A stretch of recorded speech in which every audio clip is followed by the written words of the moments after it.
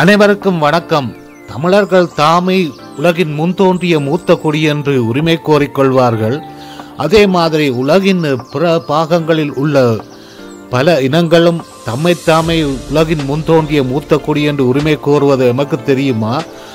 உதாரணத்துக்கு ஐரோப்பாவில் உள்ள அல்பேனியர்கள் தாமே ஐரோப்பாவின் மிக பழமையான இனம் என்று இன்று வரைக்கும் உரிமை கோரி வருகின்றனர். நான் அல்பேனியாவுக்கு சுற்றுப்பயணம் செய்த காலத்தில் நேரில் கண்டு கேட்டவற்றை மட்டுமல்லாது அல்பேனியர்கள் பற்றிய பல சுவையான சமூக கலாச்சார வரலாற்று தகவல்களையும் இந்த காணொளியில் உங்களிடம் பகிர்ந்து கொள்கிறேன்.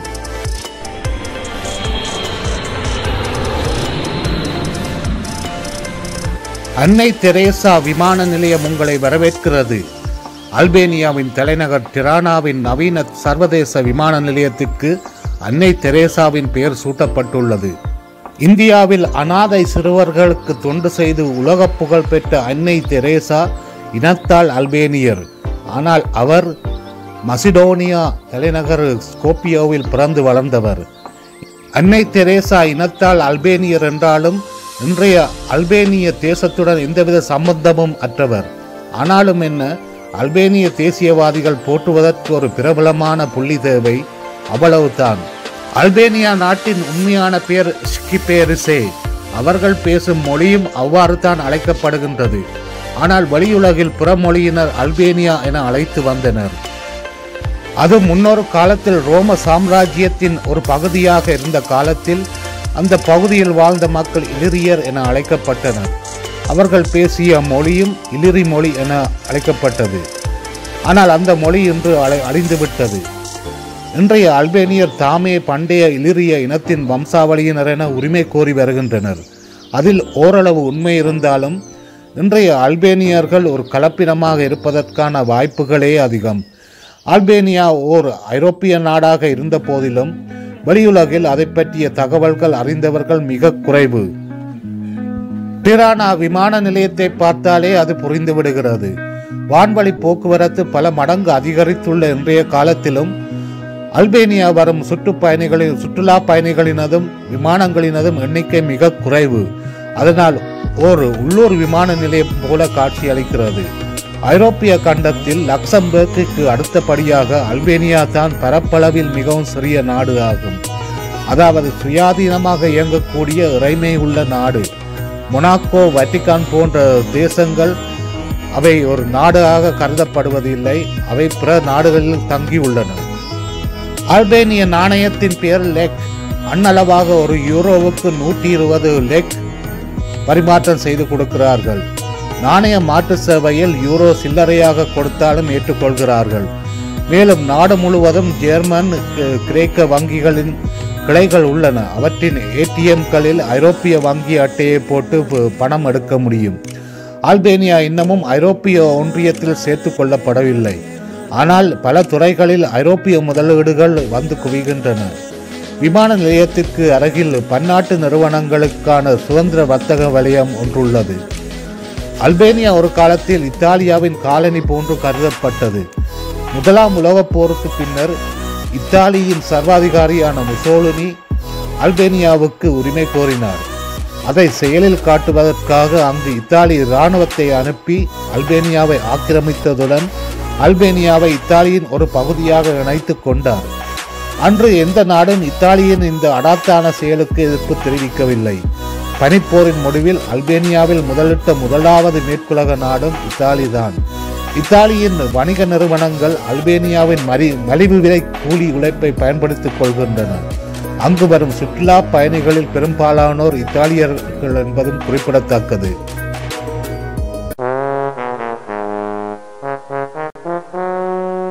அல்பேனியா நீண்ட நெடுங்காலமாகவே எந்தவித இயற்கை வளமும் இல்லாத பின்தங்கிய நாடாக கருதப்பட்டு வந்தது.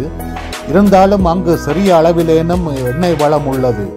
ஏற்கனவே பெட்ரோலிய தொழிற்துறை அங்கே சிறப்பாக இயங்கி வருகின்றது. நெதர்லாந்தின் ஷெல் நிறுவனம் இன்னும் பல இடங்களில் எண்ணெய் எடுக்கலாமா என்று ஆராய்ந்து கொண்டிருக்கிறது. இதன் மூலம் அல்பேனியாவின் பொருளாதார முக்கியத்துவம் அதனால் ஏற்பட்டு வரும் அபிவிருத்தி பற்றி ஓரளவு புரிந்து கொள்ளலாம். அங்கு முப்பது வருடங்களுக்கு முன்பிருந்த நிலைமையை விட நிறைய மாற்றங்கள் ஏற்பட்டுள்ளன. ஆனாலும் என்ன அல்பேனியா இன்னமும் ஐரோப்பாவில் மிகவும் வறுமையான நாடாக கணிப்பிடப்படுகின்றது. அத்துடன் கிரிமினல் குற்றங்கள் மலிந்த நாடாகவும் வெளியுலகில் கருதப்படுகின்றது. விமான நிலையத்தில் இருந்து இருபது கிலோமீட்டர் தூரத்தில் உள்ள டிரானா நகருக்கு செல்வதற்கு தனியார் மினி பஸ் சேவை உள்ளது. பயணக் கட்டிடம் வெறும் முன்னூறு லேக் அதாவது இரண்டு இரண்டரை யூரோக்கள் மட்டுமே. இந்த நாட்டில் யாருக்கும் சுற்றுச்சூழல் மாசடைதல் பற்றிய விழிப்புணர்வு இல்லை போலிருக்கிறது. போகும் வழி எங்கும் ஓடைகளிலும் ஆறுகளிலும் பிளாஸ்டிக் கழிவுப் பொருட்கள் தேங்கி கிடக்கின்றன. இதை நாடு முழுவதும் கண்டிருக்கிறேன். அதே போல இன்னும் ஒரு எதிர்மறையான அம்சத்தையும் இங்கே குறிப்பிட வேண்டும். நகர தெருக்களில் சிக்னலில் சிவப்பு விளக்கு எரிந்தாலும் வாகனம் ஓட்டுகிறார்கள். யாரும் நிறுத்துவதில்லை. இதை ஏற்கனவே சென்னை திருக்களில் கண்டிருக்கிறேன். ஆனால் ஒரு வித்தியாசம் என்னவெனில் சென்னையில் பாதசாரிகள் பச்சை விளக்கில் பாதையை கடக்கும் நேரத்திலும் வாகனத்தை மிக வேகமாக ஓட்டிக்கொண்டு வருவார்கள். ஆனால் அல்பேனியாவில் பாதசாரிகளுக்கு வழிவிட்டு மெதுவாக ஓடுகிறார்கள். மற்றும்படி இரண்டு நாடுகளிலும் வீதி போக்குவரத்து விதிகளை மீறும் பண்பு ஒரே மாதிரியாக உள்ளது. டிரானாவில் நிறைய பேர் சைக்கிள் பாவிக்கிறார்கள். சைக்கிள் ஓடுவதற்கான தனியான பாதையும் ஒதுக்கி இருக்கிறார்கள். ஏர்போர்ட் பஸ் நேராக டிரானா நகர மத்திக்கே வந்து சேர்கின்றது. ஏற்கனவே இணையம் மூலம் அங்கிருந்த ஹோஸ்டலில் பதிவு செய்திருந்தபடியால் அதிக தூரம் நடக்க வேண்டிய தேவை இருக்கவில்லை. சுற்றுலா பயணிகள் பார்க்க வேண்டிய இடங்களும் நகர மத்திக்கு அருகிலேயே உள்ளன. எல்லாவற்றையும் நடந்து சென்றே பார்க்கலாம். அல்பேனிய மொழி லத்தீன் எழுத்துக்களில் எழுதப்படுகின்றது. அதாவது நம்மில் பலர் ஆங்கில எழுத்துக்கள் என்று நினைத்துக் கொள்வது உண்மையில் லத்தீன் எழுத்துக்கள். அந்த எழுத்துக்களே ப பயன்படுத்தப்படுவதால் அங்கு இடங்களின் பெயர்களை வாசித்து அறிந்து கொள்வதில் எந்த சிரமமும் இல்லை. அல்பேனியாவில் பரவலாக ஆங்கிலம் பேசுகிறார்கள். ஆனால் எல்லோரிடமும் அதை எதிர்பார்க்க முடியாது. பெரும்பாலும் இளைஞர்களுக்கு ஓரளவு ஆங்கிலம் தெரிந்திருக்கிறது. வயதானவர்கள் இப்போதும் அல்பேனிய மொழி மட்டுமே பேசுவார்கள். ஆனாலும் தம்மால் முடிந்த அளவுக்கு சைகை மொழியில் காட்டி உதவுகிறார்கள். தெருவில் போகும் போலீஸ்காரரை கேட்டாலும் உதவுவார்கள். அநேகமாக எல்லா போலீஸ்காரர்களுக்கும் அங்கு ஆங்கிலம் தெரிந்திருக்கிறது. அல்பேனியா மிகவும் செலவு குறைந்த நாடு. அங்கு எட்டு யூரோவிலிருந்து இருபது யூரோவுக்குள் ஒரு ஹோஸ்டலில் தங்கலாம். அதைவிட பணக்கார வாடிக்கையாளர்களுக்கான ஆடம்பர ஹோட்டல்களும் நிறைய உள்ளன. நாடு முழுவதும் சிறிய நகரங்களில் கூட புதிது புதிதாக ஹோட்டல்கள் பு- முளைக்கின்றன. அதைத் தவிர கரையோர பகுதிகளில் நிறைய டூரிஸ்ட் ரிசோர்ட்டுகளும் வந்துவிட்டன. சுற்றுலாத்துறை வளர்ச்சியடைந்த அயல் நாடுகளுடன் ஒப்பிடுகையில் அல்பேனியா செல்லும் சுற்றுலா பயணிகளின் எண்ணிக்கை தற்போது மிகவும் குறைவுதான். எதிர்காலத்தில் அது மாற்றம் அடையலாம். புற ஐரோப்பிய நகரங்களை பார்த்தவர்களுக்கு டிரானா ஏமாற்றம் அளிக்கலாம். அது மத்தியதரை கடலோர நகரங்களின் தோற்றத்தை கொடுக்கின்றது. அங்கு குளிரை விட வெயில் கடுமையாக இருக்கும். அதனால் எல்லா கட்டிடங்களிலும் ஏசி பொருத்தி இருக்கிறார்கள். நான் தங்கியிருந்த விடுதியிலும் வெப்பமூட்டும் சாதனத்தை காணவில்லை. உண்மையில் ஜெர்மனி பிரான்ஸ் போன்ற நாடுகளின் ஒப்பிடுகையில் அல்பேனியாவில் குளிர் மிகவும் குறைவு. தலைநகர் திரானாவானது இத்தாலிய காலனிய ஆட்சி காலத்தில் புதிதாக உருவாக்கப்பட்ட ஒரு நகரமாகும். அங்குள்ள அழகான கண்ணை கவரும் அமைச்சு அலுவலக கட்டிடங்களும் இத்தாலியர்கள் கட்டியவைதான். நகரத்தின் மத்தியில் ஸ்கண்டபர்க் சதுக்கம் உள்ளது. அதன் தொடக்கத்தில் அல்பேனிய தேசிய நாயகன் ஸ்கண்டபர்க்கின் சிலை உள்ளது. அதன் அருகில் ஒரு பழைய மசூதி உள்ளது. அதற்கும் அருகில் ஒபெராவும் புத்தக கடையும் உள்ளது. அந்த கடையில் அல்பேனியா பற்றி எழுதப்பட்ட அனைத்து ஆங்கில நூல்களும் விற்பனைக்கு வைக்கப்பட்டுள்ளன. முன்னொரு காலத்தில் ஸ்கண்டபர்க் சிலைக்கு அருகில் அல்பேனியா சோசலிச நாடாக இருந்த காலத்தில் அமைக்கப்பட்ட மிகப்பெரியதொரு ஸ்டாலின் சிலை இருந்தது. அதை தொண்ணூறுகளில் அகற்றிவிட்டார்கள். அல்பேனியா சோசலிச நாடாக இருந்த காலத்தில் கம்யூனிஸ்ட் கட்சி தலைவர்களும் பொதுமக்களும் ஒன்று கூடும் நிகழ்வுகள் பல அந்த இடத்தில் தான் நடந்துள்ளன. அன்றைய சோசலிச காலகட்டத்தை நினைவு கூர்வதற்கு தற்போது எஞ்சியுள்ளது ஒரே ஒரு மியூசியம் மட்டுமே. அதுவும் இதே ஸ்கண்டபர்க் சதுக்கத்தில் எதிர்த்திசையில் அமைந்துள்ளது. அந்த மியூசியத்தின் முகப்பில் ஒரு பிரமாண்டமான ஓவியம் வரையப்பட்டுள்ளது. சோசலிச யதார்த்தவாத ஓவியம் என்று சொல்லும் தரத்தில் அல்பேனிய கலாச்சார உடையில் ஆயுதம் ஏந்திய மனிதர்கள் அந்த ஓவியத்தில் காணப்படுகின்றனர். உண்மையில் அந்த ஓவியமானது இத்தாலிய காலனி ஆதிக்கத்திற்கு எதிரான அல்பேனியர்களின் தேசிய விடுதலை போராட்டத்தை குறிப்பிடுவதால் அதை இப்போதும் அப்படியே விட்டு வைத்திருக்கிறார்கள். அல்பேனியர்களின் தேசிய நாயகனான ஸ்கண்டபெர்க் ஐநூறு வருடங்களுக்கு முன்னர் ஓட்டோமான் துருக்கியர்களுக்கு எதிராக போராடுவதற்காக அல்பேனிய இனக்குழுக்களை ஒன்று திரட்டி போராடினார். ஸ்கண்டபெர்க் விடுதலை பெற்று தந்த அல்பேனிய ராஜ்யம் சில தசாப்த காலம் மட்டுமே நீடித்தது. அதற்கு பின்னர் ஓட்டோமான் சாம்ராஜ்யத்தின் ஆளுகையின் கீழ் வந்துவிட்டது. இருப்பினும் ஆயிரம் ஆயிரம் வருடங்களாக அயலில் உள்ள வல்லரசுகளால் மாறி மாறி ஆளப்பட்டு வந்த அல்பேனியா ஸ்கண்டபர்க் காலத்தில் தான் ஒரு தனித்துவமான தனி நாடாக அடையாளப்படுத்தி கொண்டது. அதனால் இன்றைய அல்பேனிய தேசியவாதிகள் ஸ்கண்டபர்க்கை தமது தேசிய நாயகனாக உயர்த்தி பிடிக்கின்றனர்.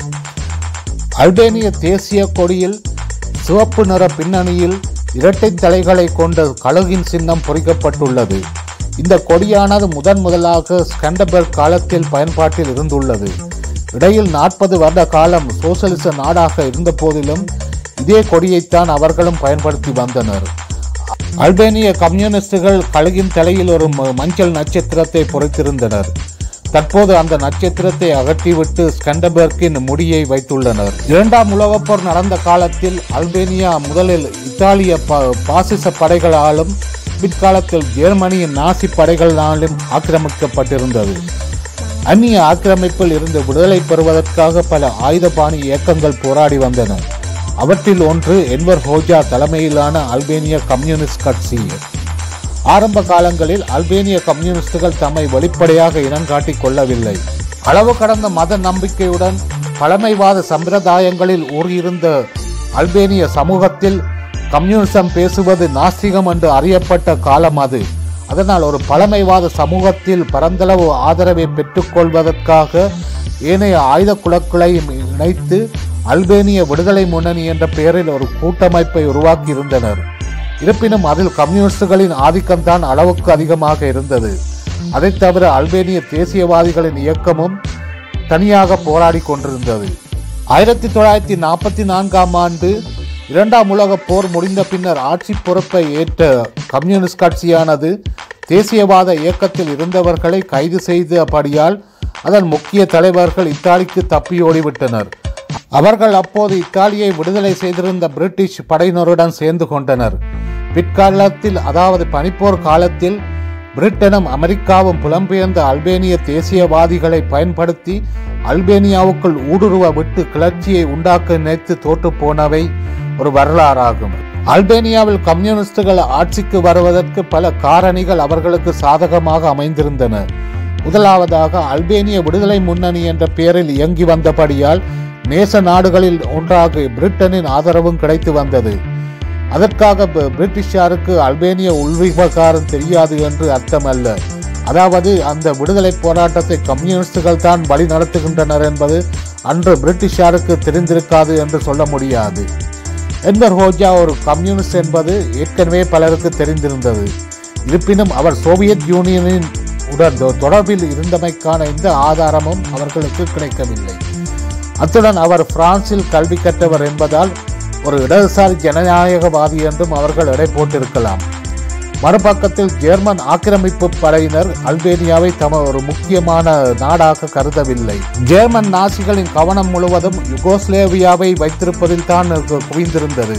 இந்த குழப்பகரமான சூழ்நிலையை பயன்படுத்தி என்வர் ஹோஜா தலைமையிலான கம்யூனிச போராளிகள் அல்பேனியா முழுவதையும் தமது சொந்த பலத்தில் விடுதலை செய்துவிட்டனர். விடுதலை செய்யப்பட்ட திரானாவில் என்வர் ஹோஜாவும் பிற கம்யூனிஸ்ட் தலைவர்களும் வ- வருகை தந்த நேரம் பல்லாயிரக்கணக்கான மக்கள் கூடி நின்று அவர்களுக்கு வரவேற்பு கொடுத்தனர். இன்று வரையிலான அல்பேனிய வரலாற்றில் எந்த ஒரு அரசியல் தலைவருக்கும் கிடைத்திராத மக்களின் பேராதரவு என்வர் ஹோஜாவுக்கு அன்று கிடைத்தது என்பது குறிப்பிடத்தக்கது. அதை இன்று எதிரிகளே ஒத்துக்கொள்கிறார்கள். இத்தாலி ஜெர்மன் ஆக்கிரமிப்பில் இருந்து விடுதலை பெற்று தந்தபடியால் அன்றிருந்த மக்கள் மத்தியில் கம்யூனிஸ்ட் கட்சியினருக்கு பெருமளவு ஆதரவு இருந்ததை நாம் ஏற்றுக்கொள்ளத்தான் வேண்டும். அல்பேனியா நாற்பது வருட காலமாக என்வர் ஹோஜாவின் ஆட்சியின் கீழ் ஒரு தீவிரமான கம்யூனிச நாடாக இருந்து வந்தது. அவரின் மரணத்தின் பின்னர் ஆட்சி பொறுப்பை ஏற்றவர்கள் மீண்டும் அதை முதலாளித்துவ பாதைக்கே கொண்டு வந்து விட்டனர். ஆயிரத்தி தொள்ளாயிரத்தி தொண்ணூற்றி ஓராம் ஆண்டிலிருந்து அல்பேனியா ஒரு முதலாளித்துவ நாடாக மாறிவிட்டது. அங்கு பல கட்சி தேர்தல் முறை கொண்டு வரப்பட்டு விட்டது. முன்பு கம்யூனிஸ்ட் கட்சியில் இருந்தவர்களே அந்த கட்சியை கலைத்துவிட்டு சமூக ஜனநாயக கட்சி என்ற பெயரில் ஒரு முதலாளித்துவ தேர்தல் கட்சியாக மாறிவிட்டனர். முன்பு கம்யூனிஸ்ட் எதிர்ப்பாளர்களாக இருந்தவர்கள் ஆயிரத்தி தொள்ளாயிரத்தி தொண்ணூற்றி ஆறாம் ஆண்டுக்கு பின்னர் லிபரல் கட்சி என்ற பெயரில் ஒன்று சேர்ந்தனர். தற்போது அல்பேனியாவில் நடக்கும் ஒவ்வொரு பொது தேர்தலிலும் ஒன்று சமூக ஜனநாயக கட்சி அல்லது லிபரல் கட்சி தான் மாறி மாறி ஆட்சியை பிடித்து அரசாங்கம் அமைக்கின்றது என்பது குறிப்பிடத்தக்கது. கடந்த முப்பது வருட காலமாக அல்பேனியா ஒரு ஜனநாயக நாடாக முதலாளித்துவ பாதையில் சென்று கொண்டிருந்தாலும் அங்குள்ள மக்கள் இன்னமும் வறுமையில் தான் வாழ்கிறார்கள். அல்பேனியா இன்றைக்கும் ஐரோப்பாவில் மிகவும் வறுமையான நாடாக கருதப்பட்டு வருகின்றது. அங்குள்ள ஆட்சியாளர்கள் தமது பணப்பைகளை நிரப்புவதில் தான் கவனம் செலுத்துகிறார்களே தவிர மக்களுக்கு ஏதாவது நன்மை செய்ய வேண்டும் என்று யாருமே நினைப்பதில்லை.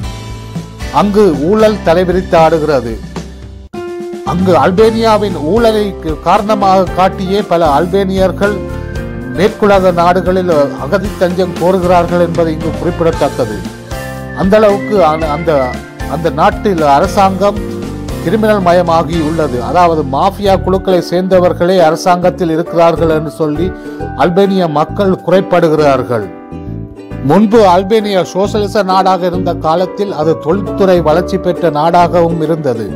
அங்கு நிறைய தொழிற்சாலைகள் இயங்கி வந்தன. அதனால் அங்குள்ள மக்களுக்கு எந்த நேரம் வேலை வாய்ப்பு கிடைத்து வந்தது. தற்போதுள்ள முதலாளித்துவ அல்பேனியாவில் எல்லா பொருட்களும் இறக்குமதி செய்யப்படுவதால் அங்கு பெரும்பாலான தொழிற்சாலைகள் மூடப்பட்டு விட்டன. அதனால் ஏராளமான மக்கள் வேலை இழந்துள்ளனர். அவர்கள் வறுமையில் வாழ்கிறார்கள். அதை பற்றி யாரும் கவலைப்படுவதில்லை.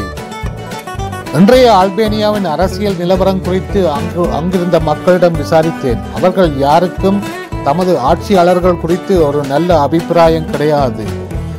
அங்குள்ள கட்சிகள் தமக்குள் அடிபடுவதிலேயே அதிக கவனம் செலுத்துவதாகவும் மக்களை கவனிப்பதில்லை என்றும் குறைப்பட்டார்கள். அம அல்பேனியாவில் மிகவும் குறைந்த சம்பளம் ஏறத்தாழ இருநூறு யூரோக்கள். அதே நேரம் படித்த பட்டதாரிகள் கூட அங்கு அதிகம் சம்பாதிக்க முடியாத நிலைமையே உள்ளது. மாஃபியா குழுக்கள் அரசியல் தலைவர்கள் மட்டுமே பெருமளவு சம்ப பணம் சம்பாதிக்க முடிகிறது. நல்லது நண்பர்களே மீண்டும் அல்பேனியா பற்றி இன்னும் ஒரு காணொளியில் உங்களை நான் சந்திக்கிறேன். எனது சேனலை சப்ஸ்கிரைப் செய்யாதவர்கள் இன்றே செய்யவும் நன்றி வணக்கம் கலையரசன்.